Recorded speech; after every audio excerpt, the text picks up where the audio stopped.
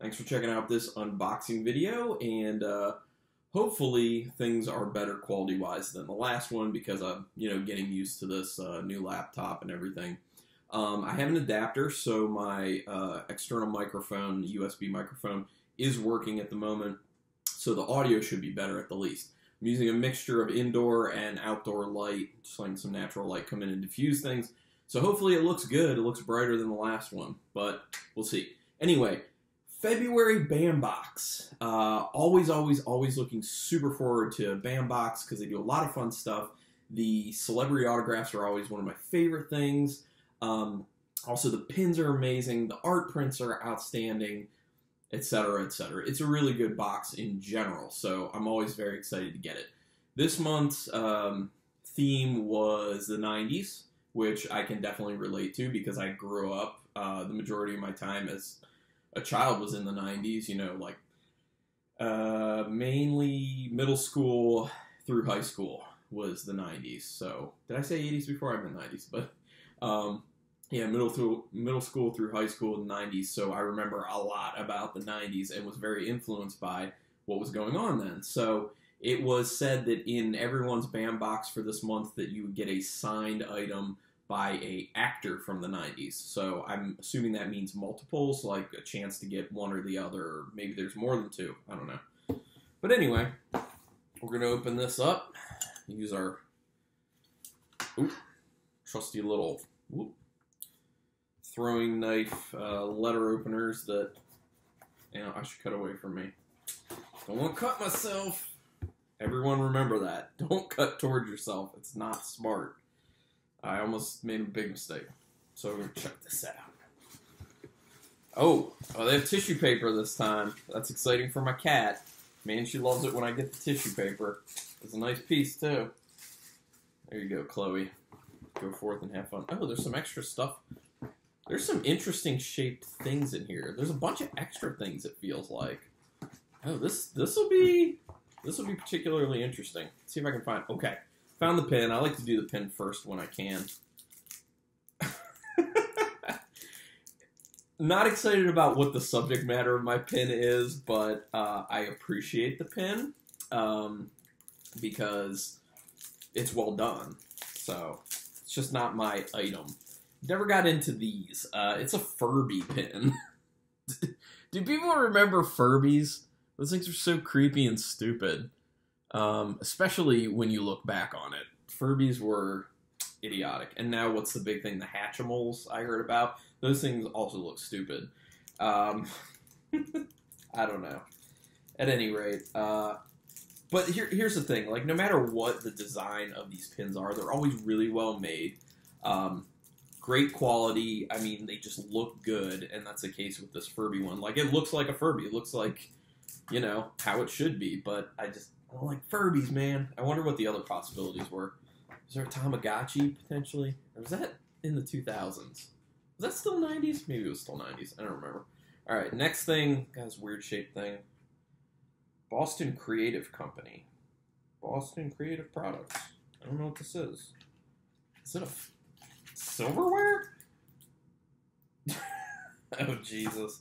Okay, so it's a spoon um, it's an actual spoon. Like it's a spoon. It's a legit spoon. It's metal. Like I can use this, and it says, it says on the actual uh, concave part of it, um, "No soup for you." Which okay, now I need to explain. Oh man, there's so much reflection on that. But I don't know if you can like kind of see that it says "No soup for you." I'll just move it. See. If you can't really see, you just have to trust me. Um, I like the idea of this. This is a very outside of the box, no pun intended, type uh, product. But I personally, once again, it's well done. It's a good reference, all that. I know it's a reference to Seinfeld. Hate Seinfeld. Sorry, you can feel free to, to lambaste me in the comments about that. Hate Seinfeld. It's not because the writing isn't good. The writing is good. I know Larry David created it. He did a lot of the writing on it. I know the writing's good. I can't stand Jerry Seinfeld. I have a, a, big problem. I just cannot watch Jerry Seinfeld. His whole like, what's with that? Oh, what's with that? Like all the time, it gets so annoying to me. I cannot stand Jerry Seinfeld. I'm sorry. for that reason, I hate the show Seinfeld. I just cannot watch it. Not a big fan. But this is a good item, and I know a lot of people who do like Seinfeld, so it was smart for them to do that. I might give this to someone who I know is a really big fan. Um, but I also will say, uh, Curb Your Enthusiasm, which was also done by Larry David, I am a fan of that. That is a very well written show and it is a very good show. So it's not about the writing or anything. It's Jerry to hate Jerry. But the No Soup for You reference good. The next thing is like squishy. It's like some sort of like plushie or something. Oh my god. It's a it's straight up it's a beanie baby. Holy crap. Kind of never wanted one of these ever. Um, once again, I understand, you know, 90s and it makes sense. It's a, it's a pelican, you know? That's what it looks like. Look at that. It's a pelican beanie baby. Legit, you know, TY company, whatever. What's this one's name? I know. Oh, Scoop. Makes sense. Scoop. From 1996. 96. Just another another item. Not a bad idea. I don't like it. So it's not for me. It's not my thing. And next thing feels like a hockey puck, kind of. It feels like a hockey puck, and I'm into hockey. It is a hockey puck, actually. Holy crap! Nice. Oh man, that's this is actually awesome. I do really like this item because I'm a hockey fan and I'm also a fan of this. Uh, so this is signed by one of the guys who was in Mighty Ducks. Uh, it was signed by Matt Doherty. Let me try to take it out to better show you. Um, so here you go. Legit. There's the signature. You can see it's an actual signature. Has BAM on the other side of the puck, and then it has the card, uh, the certificate of authenticity. It has the picture of the guy from the Mighty Ducks. I remember him. I remember that face. I didn't remember him by name, but Matt Doherty. Um, get a better look at this guy. Do you guys remember this guy from Mighty Ducks? Do you remember this guy? I do. This is cool. I like this is a good signed item. And it's so once again, like I like to say, it's such an outside the box item. And like the spoon, the spoon's super outside the box. So that's one of the great things about Bambox is how creative they are with coming up with different things to get signed. A lot of these other boxes, they just, you know, it's like it's always going to be prints or it's always going to be a glossy from a movie. Like they don't have much creativity when it comes to the to the to those types of things. But super outside the box for Bambox. I think there might be one more item. I don't know, but it's in a tube. So I'm start assuming this is the art print. Ooh, looks like mine's a little messed up on one side. Tad bit. Showdown in cyberspace. this is actually pretty funny. So it's a fight card poster, basically, you know, for like uh, UFC style or like boxing, and it's Machine against uh, against the Man, Agent Smith versus Mr. Anderson, aka Neo. Um, obviously, reference to um, the Matrix, which was a big deal in the '90s. Obviously, see if I can get show you a bit. How that looks like really dark because I'm like blocking all the light pretty much, but you can get a good sense of how it is. See, um, but it says celebrity fight match. The Oracle in associate in association with a simulated reality system presents showdown in cyberspace. No home TV, direct from ringside. All the money is in yen, so I guess this is in like China. It looks like it's in yen. Uh, 15 rounds of nonstop boxing action, plus additional thrilling fights featuring Morpheus versus the Merovingian. It's like wiping my ass with silk. I love it. That was one of his lines. The Merovingian. That's the best line from all Matrix films. And Trinity versus the twins. Everyone remembers those white-haired, dreadlock, shade-wearing, white trench coat twins, uh, who were actually supposed to be based off like werewolves or something for some reason.